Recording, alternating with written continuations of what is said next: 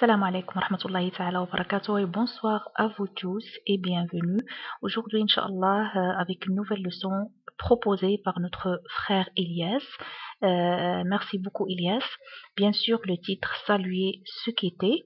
Euh, commençons à la barakatillah, bismillah ar-Rahman ar-Rahim. Leçon 87. Saluer ce qui était. طبعا هذا الدرس كان من اقتراح أخي الفاضل إلياس جزاه الله خيرا طلب إذا كان في بالإمكان أن آه، طبعا أدرج أو آه، أسجل درسا خاصا بالتحيات في اللغة الفرنسية. طبعا آه، كان كان هذا الاقتراح مرحب به بشكل كبير. bien sûr un grand merci à إلياس encore une fois. Donc saluer هي إلقاء التحية أو حيا سكيتي بمعنى عندما نريد أن نتوادع أو طبعا نستأذن بعد حوارنا أو بعد لقائنا. إذا بعض عبارات التحية عند اللقاء والفراق donc saluer c'est un verbe de premier groupe qui se termine pardon qui se termine par er. Se quitter c'est un verbe pronominal qui se termine par er bien sûr. هذا فعل saluer من المجموعة الأولى التي تنتهي ب er. طبعا تصريفاتها آه، تطرقنا إليها في الدروس السابقة.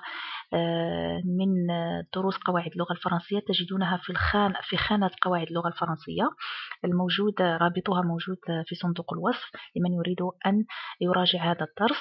se quitter c'est un verbe pronominal يعني آه، فعل ذو الضميرين يعني الذي طبعا يصاحبه الضمير سو كذلك هذا الدرس أو هذه الأفعال تطرقنا إليها في دروس قواعد اللغة. لمن يريد دائما يعود إلى رابط قواعد اللغة الفرنسية في صندوق الوصف ليأخذ نظرة.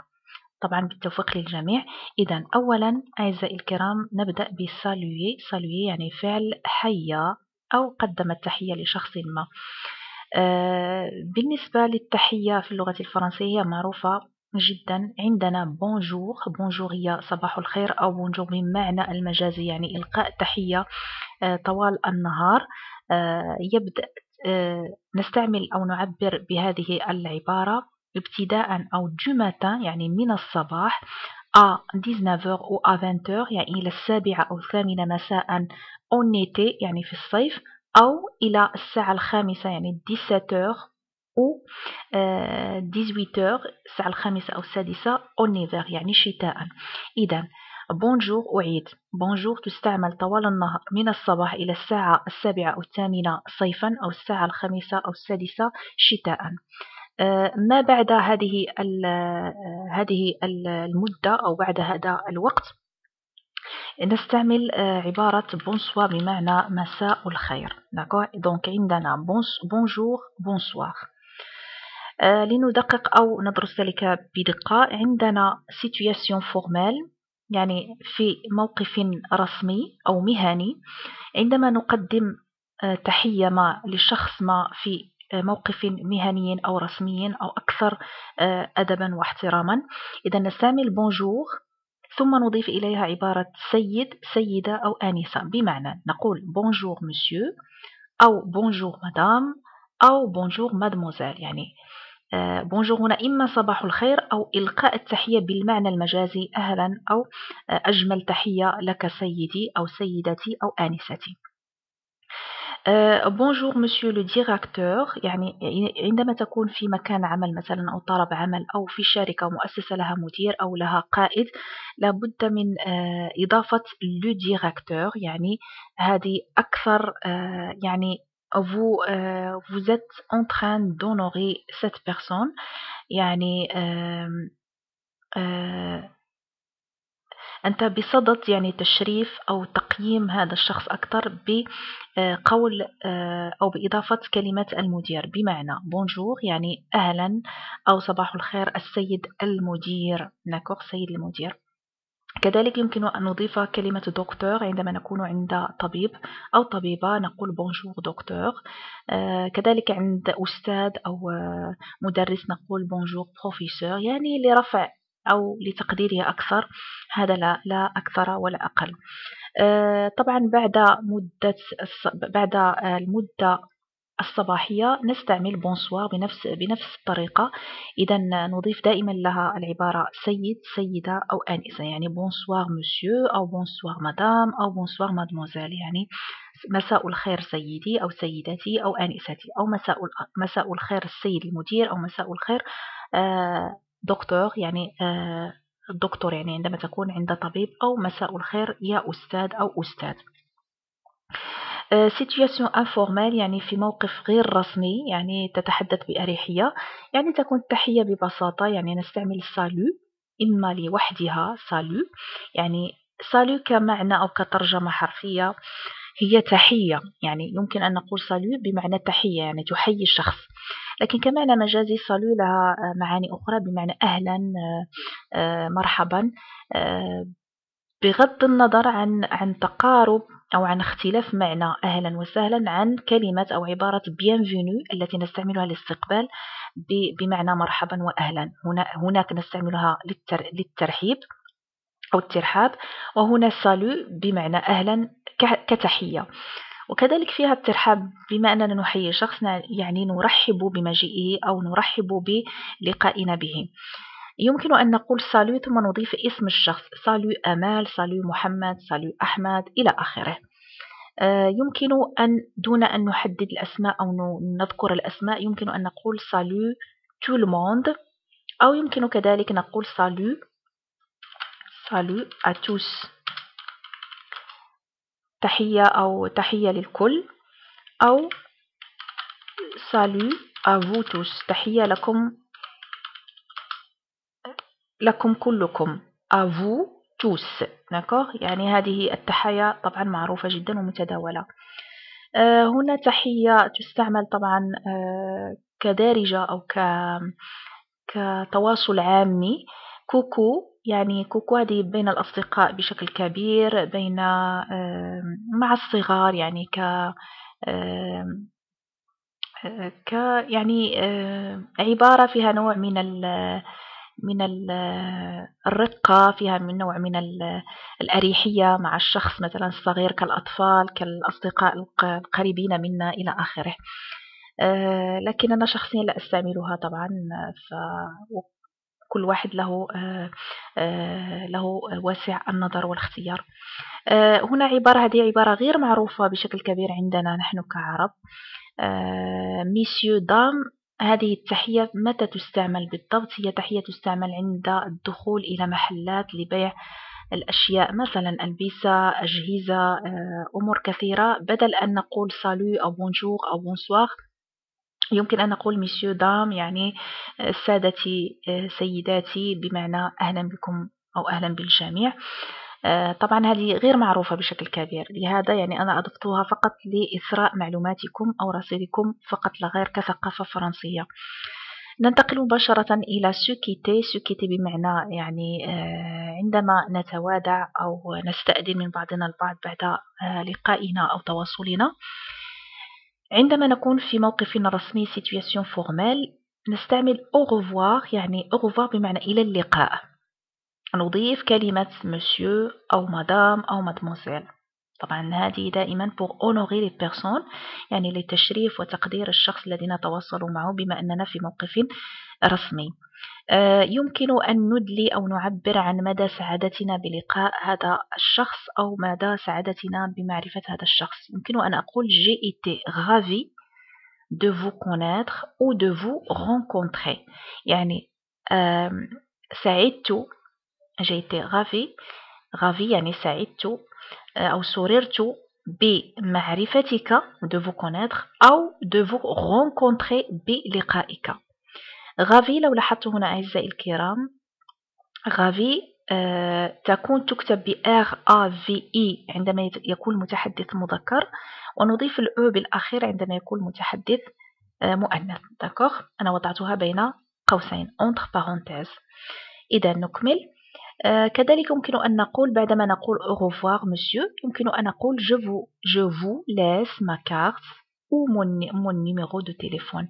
يعني euh, je laisse يعني أترك vous à vous je laisse quoi à vous ah pardon à qui à vous أنا أترك لك يعني سيدي هنا vous استعملنا vous للرسمية جو vous laisse أترك لك ما كارت يعني بطاقة بطاقة السيارة أو بطاقة التي تحتوي على معلومات التواصل معي كرقم الهاتف العنوان مثلا إلى آخره. أو جو vous laisse mon numéro de téléphone أترك لك رقم هاتفي. هذه من بين العبارات التي يمكن أن نستعملها ونحن نتبادل عبارات الاستئذان أو عبارات الفراق ليس الفراق الأبدي يعني الوداع ولكن الفراق يعني للقاء آه، آخر إن شاء الله في المستقبل. بالنسبة لل situation informelle يعني موقف غير رسمي يمكن أن نستعمل salut salut في اللغة الفرنسية تستعمل إما لإلقاء التحية عند اللقاء أو عند الفراق أو عند الاستئذان للذهاب. salut بمعنى مع السلامة كمعنى مجازي. أو salut إذا أعطينا الترجمة كما أسلفت ترجمة حرفية يعني تحية تحية لك يعني أحييك لأستأذن.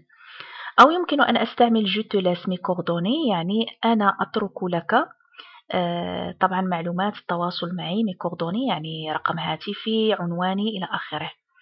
آه، الفرنسيين يستعملون كذلك كلمة تشاو. تشاو هذه كلمة إيطالية. تشاو تشاو تشاو. هذه من من من من طرق تعبيرهم أو استعمالهم بعد الاستئذان. تشاو. كذلك يستعملون كلمة أديو لكن أديو هذه كلمة يعني معروفة عند العامة بأنها كلمة الوداع والوداع بمعنى لا نلتقي أبدا بعدها. لكن جنوب فرنسا يستعملون أديو بمعنى بمعنى au revoir. au revoir يعني إلى اللقاء. D'accord هذا جنوب جنوب فرنسا au sud de la France. عندنا مثلا عندما نستأذن بعد لقائنا أو حوارنا أو تواصلنا مثلا revoir dans la même journée. يعني تواصلنا وتحدثنا واستأذنا للذهاب كل منا يذهب إلى أشغاله وأعماله لكن سنلتقي بعدها في نفس اليوم. يعني revoir يعني سنرى بعضنا البعض مرة أخرى. Dans la même journée يعني في نفس النهار. في هذه الحالة إما نستعمل à tout de suite يعني إلى حين يعني أو بعد حين يعني à tout de suite يعني ليس بل سنلتقي بعد مدة قصيرة جدا. à tout à l'heure كذلك نستعمل أتو تالور يعني بعد ساعة أو ساعتين يعني لم نحدد الساعة لكن ساعة أو ساعتين يعني سنلتقي. أبلوتار يعني آه يعني بعد استئذاننا هذا يعني آه سنلتقي ربما في بعد ساعات متأخرة إلى آخره يعني بعد ساعة ثلاث ساعات أربع ساعات بلوتار يعني سنلتقي آه، بساعة متأخرة لكن في نفس النهار. أسوسوار هنا حدد أسوسوار آه، يعني في هذا المساء يعني مساء نلتقي دكوغ ne pas savoir quand on va se revoir. يعني هنا عندما لا نعرف متى سنلتقي. في هذه الحالة يمكن أن أقول à bientôt إلى لقاء قريب. يعني دون تحديد متى ولكن إلى لقاء قريب هنا يعطي أمل أننا سنلتقي بعدها آه، بعد سنلتقي مرة أخرى. لكن متى؟ يعلمها الله. هنا يمكن أن أقول أبيانتو جيسبر يعني إلى اللقاء قريبا أتمنى. داكوغ أبلوس يعني من بعد أو آه، كما نقول يعني مستقبلا سنرى بعضنا البعض لكن متى؟ الله أعلم. De ces jours يعني في يوم من هذه الأيام لكن لم يحدد اليوم on se téléphone يعني سنتهاتف أو نتواصل عبر الهاتف لتحديد طبعا موعد لقائنا. On se mail يعني هنا نتواصل عبر رسالة قصيرة. On se fait signe يعني نترك لبعضنا البعض إشارة تدل على لقائنا أو على موعد لقائنا في المستقبل. آه، إضافة بسيطة هنا آه، في أبيانتو. آه، هنا كذلك عبارة أخرى أتونتو. تستعمل بشكل كبير في بلجيكا. بنفس عندها نفس المعنى يعني بعد حين أو سنلتقي بعد ساعات إلى آخره يعني لكن سنلتقي قريبا. دكوغ مثلا savoir quand on va se revoir. يعني هنا نعرف متى سنلتقي. هنا نحدد اليوم. مثلا نقول à demain يعني إلى الغد. À samedi prochain إلى السبت القادم. À jeudi يعني إلى الخميس إلى آخره. يمكن هنا بعد آه، تبادل عبارات الاستئذان أو الوداع. الوداع طبعا المؤقت وليس الأبدي. يمكن أن نضيف مثلا إذا كان آه، يصادف استئذان استئذاننا عفوا أو فرقنا الليل يمكن أن نضيف bonne bonne nuit يعني ليلة سعيدة وليلة طيبة. أو يمكن أن نقول passe une très belle soirée يعني أمسية جميلة. euh, مثلا je te souhaite euh, une soirée pleine de paix يعني أنا أتمنى لك je te souhaite une pardon je te souhaite une soirée يعني أمسية plein plein de paix يعني مليئة بالأمان de bonheur et de bonheur يعني بالأمان والسعادة إلى آخره يعني هناك عبارات كثيرة جدا. آه، مثلا في إذا صادف اليوم أو النهار مثلا آه، استأذنا من بعضنا البعض مثلا وقت آه، الصباح مثلا أقول bonne journée يعني نهارك جيد أو طيب مثلا أقول لك طبعا آه، أتمنى لك قضاء آه، ظهيرة طيبة أو يكون تكون هذه الأمسية أو الزوال جيد جدا. أقول مثلا bon après bon bon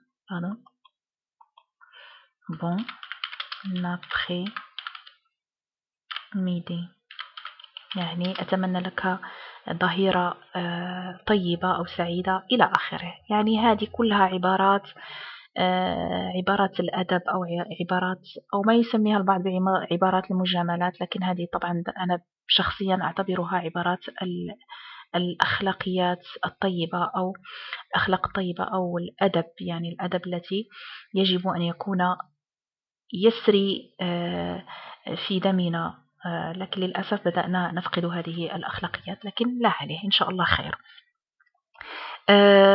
طبعا جيسبر. Que euh, ça sera très facile et très bénéfique pour vous. Si vous avez des questions, bien sûr, avec plaisir. N'oubliez pas vos propositions, vos commentaires et euh, bien sûr, euh, n'oubliez pas vous abonner. si vous aimez bien sûr la chaîne, et n'oubliez pas aussi la, cloche de notification pour, pour ne pas rater les prochaines leçons, Inch'Allah. bien sûr, encore merci à Ilias et à la prochaine, Inch'Allah. Passez de très belles soirées. Et salam alaikum wa rahmatullahi ta'ala wa barakatuh.